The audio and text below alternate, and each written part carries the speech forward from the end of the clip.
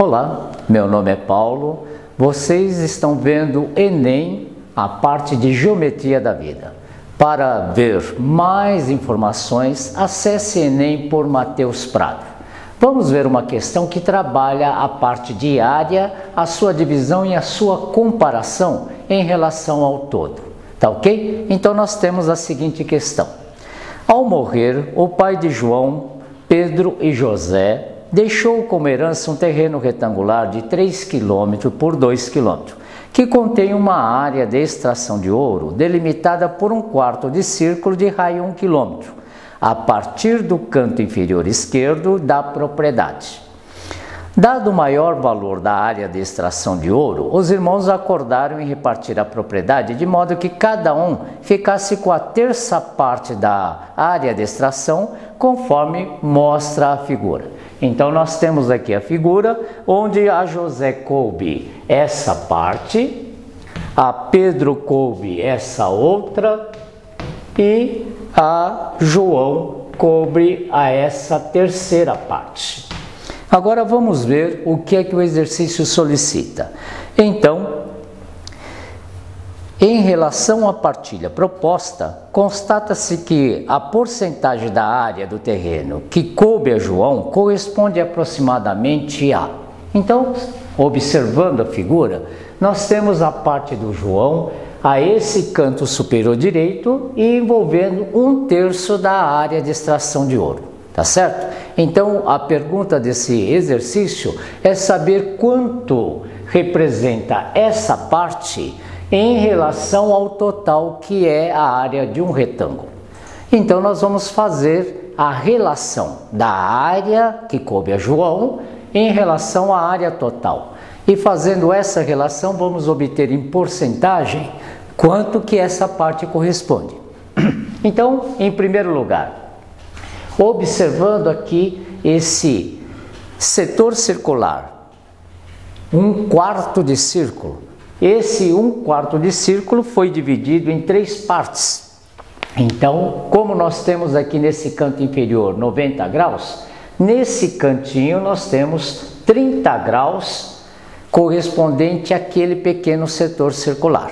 Tá ok? Agora, como nós conhecemos o lado do retângulo que aqui equivale a 2 quilômetros, nós podemos calcular em decorrência quanto nós temos nesse pedaço que coube a João do comprimento do terreno, que nós vamos denominar de x. Agora, nós temos aí para calcular a área do pedaço do terreno um triângulo retângulo. E nós temos que a área do triângulo retângulo pode ser obtida da seguinte forma. Nós temos aqui um triângulo retângulo, onde aqui é x, aqui é 2 km e aqui é 30 graus.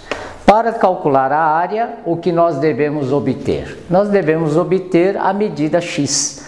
Então, através da trigonometria, nós temos que x é o cateto oposto a 30 e 2 km é o cateto adjacente.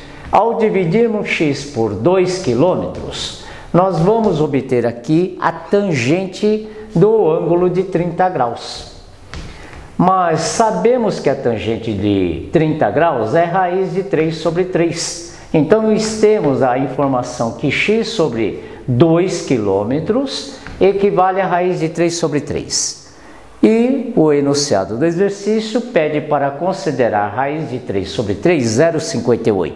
Então nós vamos obter x igual a 2 vezes 0,58 e vamos obter x igual a 1,16 quilômetros. Tá ok? Agora nós conhecemos através do x o valor da área que, do terreno que coube a João. Então calculamos a área. A área do terreno.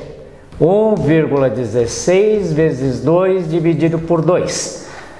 Base vezes altura dividido por 2. Lembrando que no triângulo retângulo é mais fácil calcular através dos catetos. Usamos o cateto como base e o outro cateto como altura. Então obtemos que a área que coube a João é 1,16 quilômetros quadrados. Mas se observarmos a área do terreno deixado pelo pai deles, que tem um retângulo de 3 km por 2 km, vamos obter aqui a área do terreno. 3 vezes 2, nós vamos obter 6 km quadrados. Em decorrência dessa informação, nós vamos pegar e obter a comparação da parte que coube a João para o total. Então, dividimos 1,16 a área de João para a área total. Em decorrência, vamos ter 1,16 sobre 6. E esse valor resultará em 0,19 em número decimal.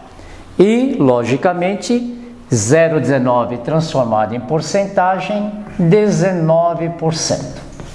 Tá ok isso? Então nós vamos observar as alternativas.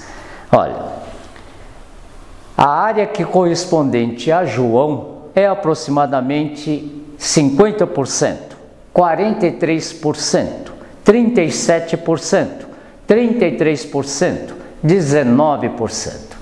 19% é a alternativa correta. Tá ok? Com isso, encerramos essa questão e acesse então www.guiaenem.org.br. Meu muito obrigado.